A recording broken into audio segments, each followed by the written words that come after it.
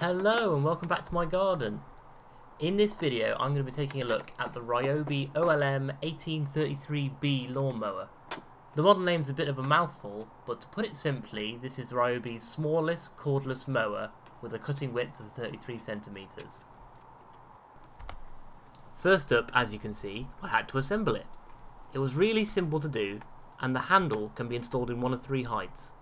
There's only a couple of centimeters between each one, but it should make all the difference to tool users. Once the lower two sections have been fixed in place with the thumb screws, the top part of the handle needs to be attached. You can't really go wrong here, as it will only fit one way around. Putting the bolts through from the outside, they should line up with the square cutout in the handle.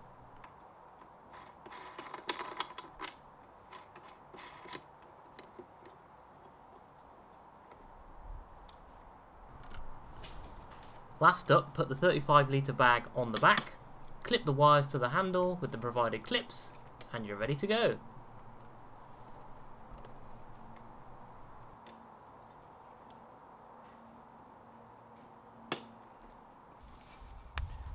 One thing that I should say is it comes pre-installed with this device which stops the grass going into the basket and just spreads it around. So if you want to collect the grass, you need to make sure this is removed. Now that it's assembled, it's just a case of putting the battery in, into it clicks, and obviously this red key, this stops it from you from working. So if you've got kids or something like that, you need the lawnmower to be really safe, you can keep that key out and it won't work without it. The height adjustment is on the side here. I've got it on two, goes down to one and all the way up to five. You literally pull it out, move it up and down.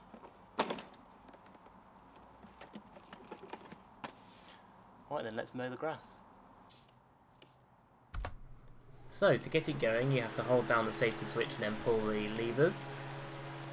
It's really lightweight to push along.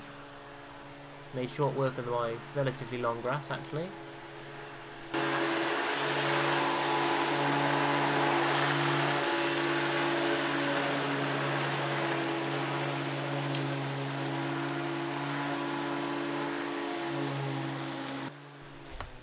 One thing I'll say for this lawnmower is it's quite loud.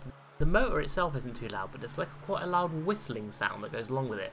I'm not sure if there was a bit of grass stuck or a leaf stuck somewhere that was whistling.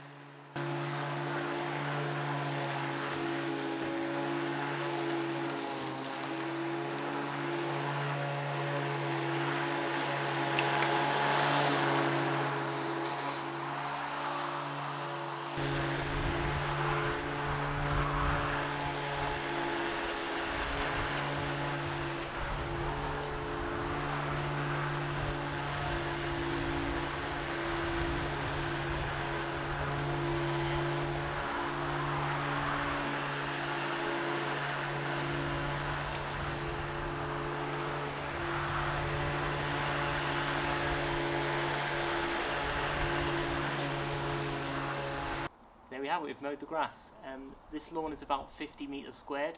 I've trimmed all the way around the edges with the strimmer, check out the video of that up here. And I've mowed the grass, all on one battery, 4 amp hour, and it's showing half battery still. So in theory I could do it twice on one charge. That's in a 50 metre squared garden. So if you've got a small garden, this is really all you need. It's really lightweight, easy to manoeuvre, so much easier than using the corded lawnmower I used to have um, I was always getting tangled up, getting the extension lead out because it didn't reach. It's really makes them mowing the lawn a lot quicker. I probably did it in half the time. And um, just need to remember to charge the battery up, of course. It was really easy to assemble, as you saw. Pick up, picked up the grass really well. Really good capacity grass basket. I did the whole garden. Um, it was pretty long, and I did the whole garden on one basket. It's properly full now, but it's it's one. I think if you're already invested in the Ryobi One Plus battery ecosystem, then it's a no-brainer. You can get this lawnmower for around £100, generally without a battery. I think with a battery it's more like 120, 130. Um, I actually got this in a set with the strimmer, battery, battery charger, lawnmower and strimmer for £199. Check in the description the links to the latest prices. Make sure to let me know if you found this video useful by hitting the like button or dropping me a comment. Make sure to subscribe to be notified of my latest videos. The Strimmer from the OnePlus range is coming soon to this channel, and I will see you in the next video.